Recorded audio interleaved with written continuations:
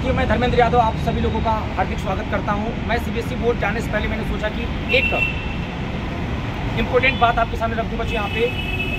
CBSE board के सामने जब मैं जाऊँगा तो मेरा पहला डिमांड था कि पेपर लीक हुआ है तो पेपर कैंसिल हो। और अब बच्चों का डिमांड आ रहा है कि सर पेपर कैंसिल करवाएँगे तो हम लोग तेईस तारीख को जो पी वो दे नहीं पाएँगे। मेरे प्यारे बच्चे, अब जो आंसर किया है, उसमें बहुत सारी गड़बड़ियाँ हैं।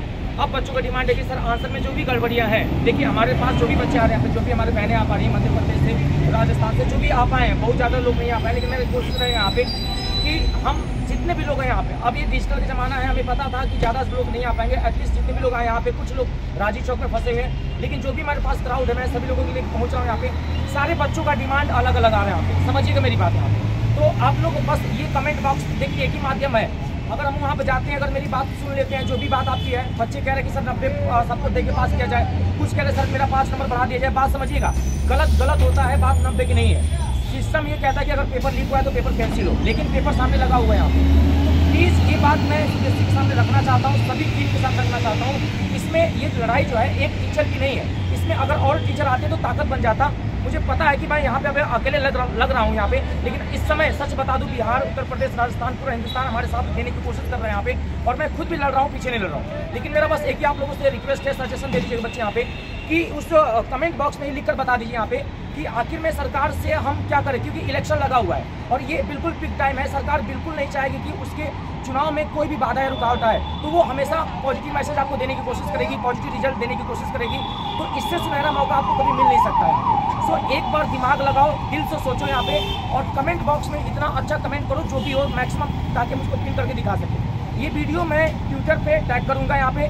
सो ध्यान रखना यहाँ पे, जो भी कमेंट करना, सोच समझ के करना, यहाँ पे पॉजिटिव करना, यहाँ पे।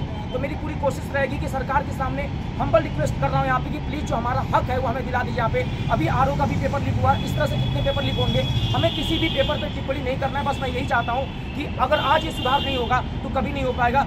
सो प्लीज़ आप लोगों को क्या लग रहा है? यहाँ पे कितना नंबर मिलना चाहिए? पेपर कैंसिल होना चाहिए? या जो भी आपको मन में लग रहा है, लेकिन हाँ ध्यान दीजिएगा, अपने लालच में नहीं, सिर्फ़ आप अपने बारे में सोचिएगा। हिंदुस्तान के हर एक बच्चे के बारे में सोचिएगा, जिसने दिन रात पढ़ाई की है है ना? उसको ध्यान में रखकर यहाँ पे कमेंट लिखेगा ये वीडियो मैं ट्विटर पे ट्रैक करूँगा यहाँ पे। आप लोग इतना काम करना मेरे प्यारे बच्चे, यहाँ पे आप लोग मेरे साथ नहीं आ पाए। मुझे इसका कम नहीं है, दुख भी नहीं यहाँ पे, मुझे विश्वास है।